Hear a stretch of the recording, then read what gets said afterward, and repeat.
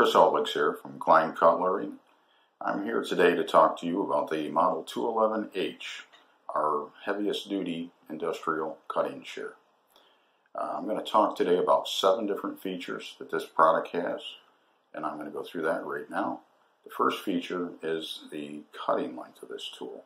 It has a four and a half inch cutting length, and the bottom blade has a knife edge on that four and a half inch length, and that knife edge reduces the amount of force required to cut through materials like carpet or rubberized tires or rubberized roofing, uh, cord, various ropes and stuff of that nature.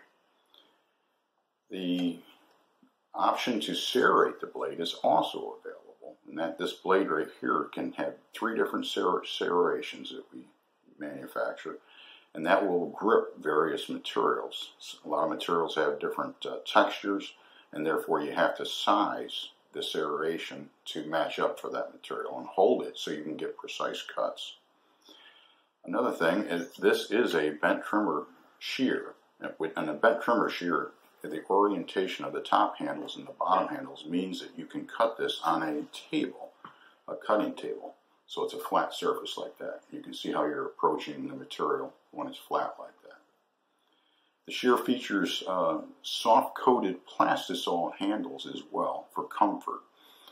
And the tool uh, was designed by us over 25 years ago and has been used extensively in all parts of industry.